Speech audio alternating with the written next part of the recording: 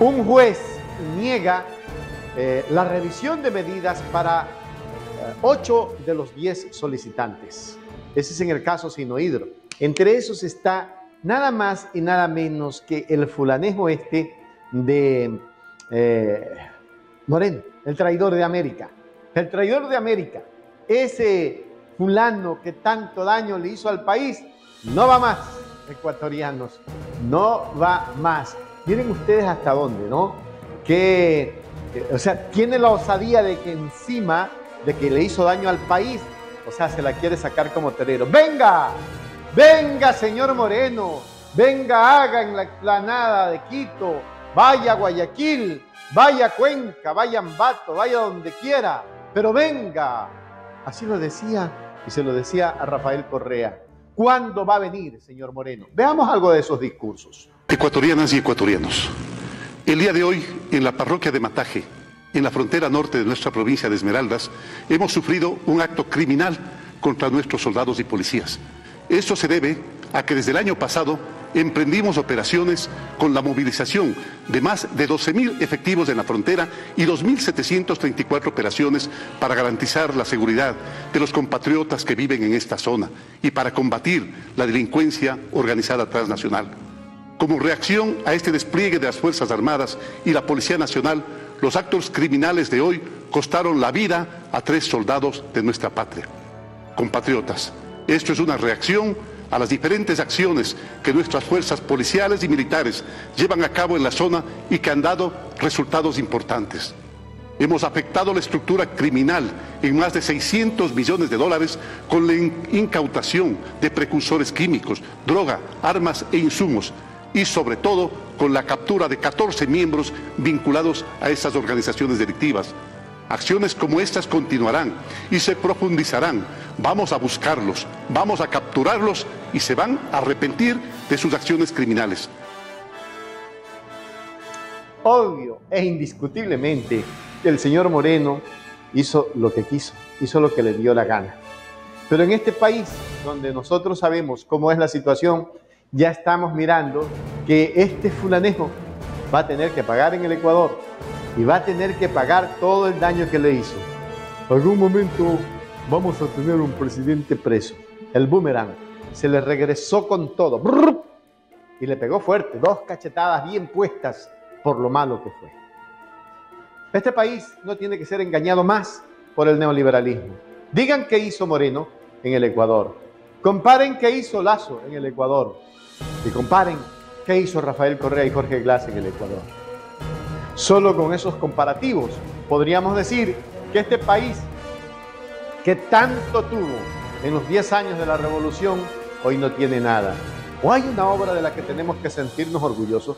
Por ejemplo, les voy a poner un ejemplito chiquito. En Chone, el multipropósito Chone, se hizo la represa de Río Grande. Terminaron las represas adicionales que faltaban en el río Garrapata. La pregunta que hago, Terminaron las pequeñas represas que faltaban en el río Mosquito para que no se inunde. Nunca lo hicieron. Nunca lo hicieron por odio, por venganza, porque los choneros amamos el mundo de la revolución, en fin. Pero algún día todo se paga. Y ya vendrán días mejores en los que cada uno de nosotros veamos una luz en el camino. El país necesita, este país, este Ecuador necesita con suma urgencia cambios sustanciales. Qué gusto verlos. Es la primera reunión que tenemos con ustedes, una reunión que de aquí en adelante va a ser hecha de forma bimestral. Esto es cada dos meses por lo menos.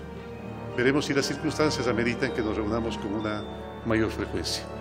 Pasamos unas elecciones completamente difíciles. Jamás en la vida yo he visto ni he conocido que había unas elecciones tan agresivas como las que soportamos en las cuales se invirtió tanto dinero por tratar de vencer al proceso de la Revolución Ciudadana. Un proceso que continúa. Y este presidente es de la Revolución Ciudadana, que quede bien claro.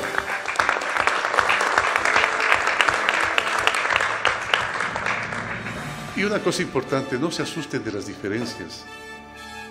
Las diferencias, por favor, son parte de la maravillosa diversidad que tiene el mundo. El pensamiento humano.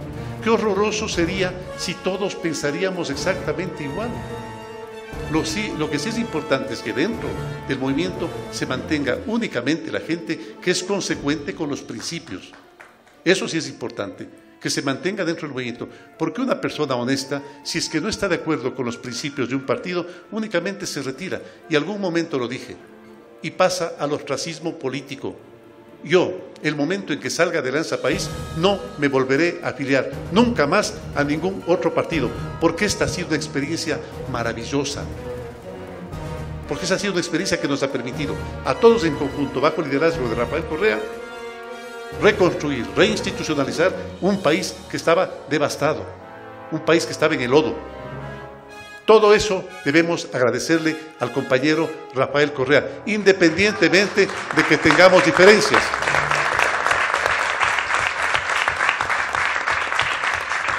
Lealtad conmigo, sí.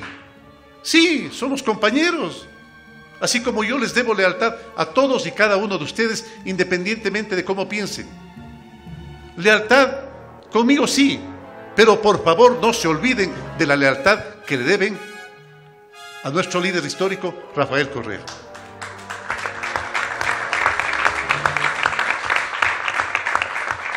No se asusten, compañeros, si algún momento en el partido inclusive existen diferencias fuertes. Entre ustedes las hay a veces.